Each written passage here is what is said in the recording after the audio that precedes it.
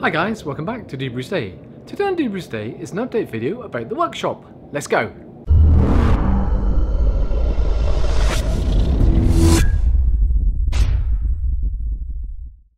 So you probably noticed that there's something different going on over here. So Percy has been sold. We miss you Percy, we miss you. But I've been to Nigel Barnett at Fransham Forge and I have purchased an Anyang ST 25 kilogram hammer, so it's a step up from where I was. I'm going to call it Black Beauty. Mrs. Doobs thinks we should call it Noir Python or Python Noir, but I think Black Beauty. Anyway, Nigel Barnett's on his way over. Um, he's going to drop off the hammer today and then we're going to wheel it into the workshop.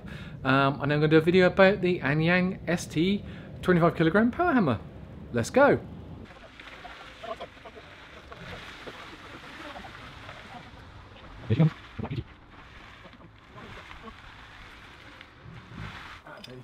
Oh, we're going to be famous now. We're going to be on YouTube. You're going to be on that, that YouTube. Oh, Nigel yeah. and Bruno.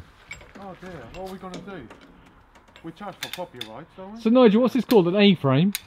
yeah. So Nigel's brought an A-frame and he's uh, lifting a woman and now you're going to call Black Beauty onto the A-frame and he's going to drive the trailer out and then uh, lower it down to the ground. That's the idea. And he's just going up now. So I just want to thank Bruno and Nigel for all of the hard work. It took us about two hours to get it in, but we got the power hammer in. There it is.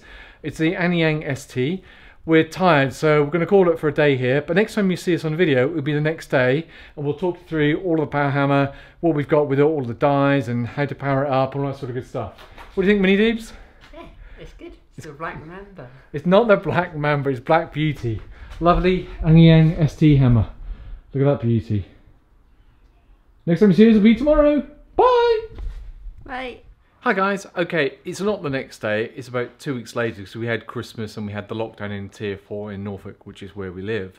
Um, so I've had the hammer now for approximately two weeks um, and I've had some fun.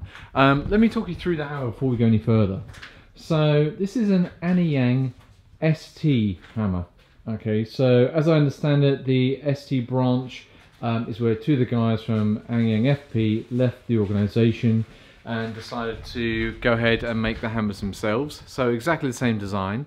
Um, this is now a 25 kilogram version, whereas previously Sir Percy was a 15 kilogram and Black Beauty's a 25 kilogram. Um, as you can see, it stands a hell of a lot taller, um, a lot taller than what it was previously. Um, some details here just tells you the model number, the date that it was uh, built, I guess, or delivered in 2020, 25 kilogram. Hopefully you can see all of that. Um, an STH25. Very much the same hammer uh, as my 15 kilogram. Um, Nigel Barnett from Fransham Forge is where I purchased it from, and I'll, I'll do a link down below. And I've just done some amendments to that hammer just to try and improve it. The first thing that we have here is the exhaust. Normally the exhaust comes uh, to the side. Now I just put like a, I, I laugh, like a car exhaust on it, but it's not a car exhaust, but it just sends the exhaust to the back of the hammer. Um, on the back of the hammer here, um, I'll just take a light down so you can see a little bit clearer.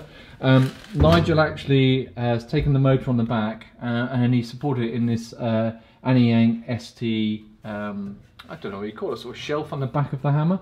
And it allows you to store your toolbox, which I'll show you in a moment. Um, and like I say, you cut out the, uh, the ST logo, so that looks pretty cool. And it just gives you a nice space where you can put all of your tools, etc., that you're not using. Now, my hammer uh, originally is a three-phase, but I just changed it to single-phase for me, so we've changed the motor on the back.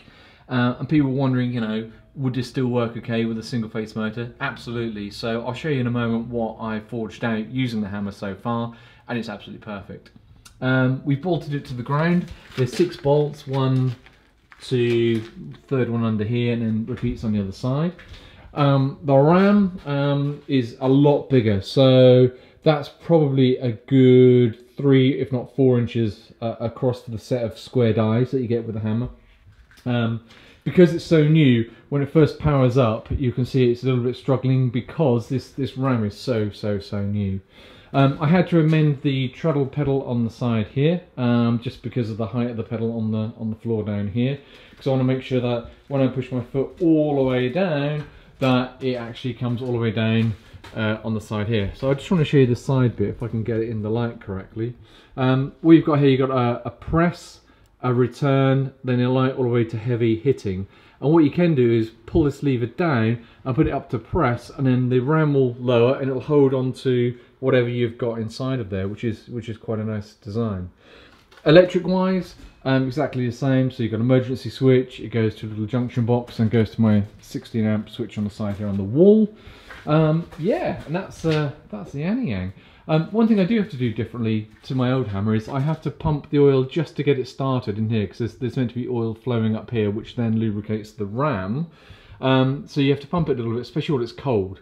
So I've been out here um, in the last few days and it's been like minus two, minus three, and obviously the oil, um, viscos viscosity, I think is the right word, is very thick. So until the hammer's warmed up, it wasn't getting the oil. So you have to pump it initially just to get it going.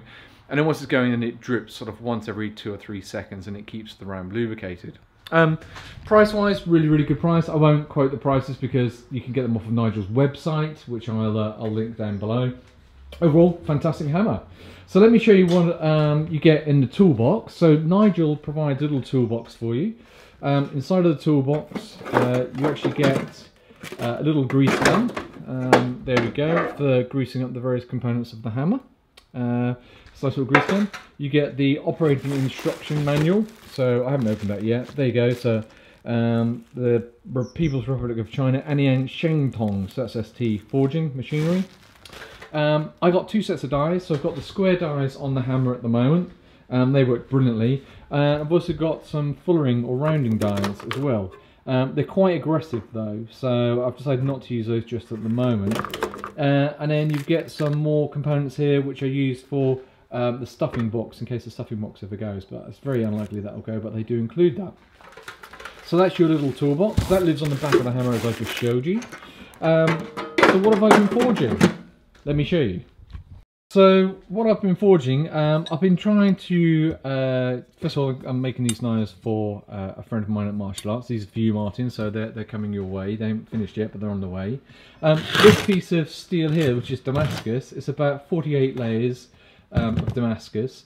Um, it's 15N20 and EM42. Um, now this bar, when it first started, it was probably a good inch in height, maybe a little bit higher in height, inch and a half.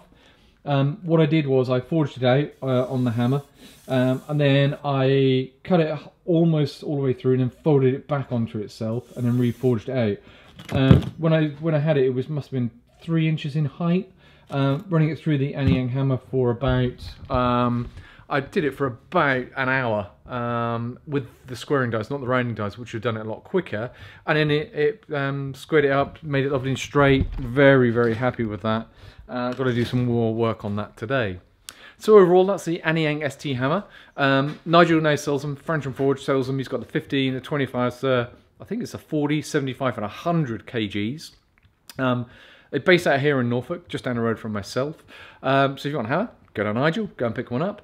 Um, he organised it, he delivered it for me, which you saw at the beginning of the of the um, the process of the, of the video. He delivered it for me. You saw at the beginning of the video.